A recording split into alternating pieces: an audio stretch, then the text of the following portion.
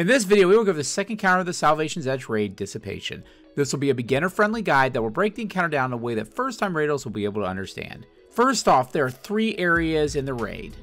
Right, middle, and left. I'll put a map up here so you can briefly see it. And there's a central area where you'll do boss damage later. You will split up into three teams of two for each area. The area on the left is probably the most difficult to cover during the encounter because of the amount of area you need to cover, so the best raiders should cover that area. Ads will spawn in each area, and you will need to kill them as quickly as possible. Once you do this, one person from each side will be summoned to this central area to prepare the boss for damage. If you miss the callouts on the bottom left for the specific guardian, you will know you'll be chosen if you see a Call to Reckoning buff on your screen. Once you get down the center arena, you will notice the boss there has a black circle on top of its head. This indicates there are blights up in the arena that need to be shot.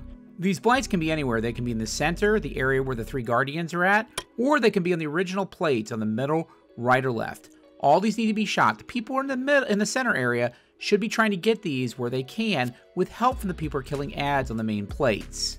One thing to keep in mind though, the people that are in that center area are going to be dodging the boss who's constantly going to be trying to attack them during that time, so that's one thing to keep in mind.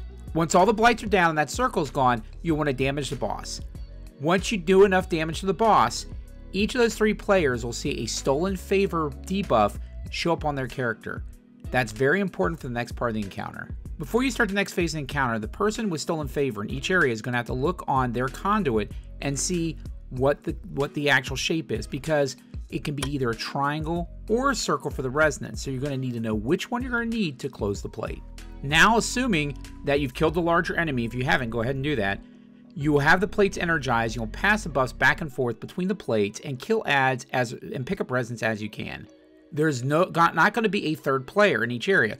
You will need to be able to deal with all the ads on your own, get the resonance also, and do the plates. The most important thing is to deal with the stasis enemies as soon as possible because they will slow you and sometimes prevent you from getting back to your plate in time.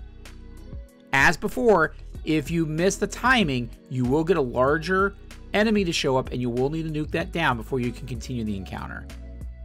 It is not as crucial in this encounter to get all three resonance, especially if your run is a little scuffed. So get as many as you can. Again, what it allows you to do is extend your timer so you have more time for future phases. Also, the person who is on the conduit plate, the receiving plate, will need to make sure that the last resonance they pick up matches the resonance the stolen favor player saw. It's also possible that someone else can shoot that and then the other person can step on the plate. So it doesn't have to be the same person, but it is important whoever shoots it has the resonance that matches what the stolen favor player saw. Once you finish all of that, everyone heads back to the bank and dumps their resonance just as before, and now it's damage time. Damage is close up and there's a stop mechanic, so swords work really well here. After some time, you will go back to your plates and start the mechanics again. Note, the players who are summoned to the center is random and can vary each time, so everyone needs to know this mechanic. Do this as many times as you need to kill the boss, and it's on the next encounter. So, super fun encounter. It at least has a boss that you can do damage to, which is nice.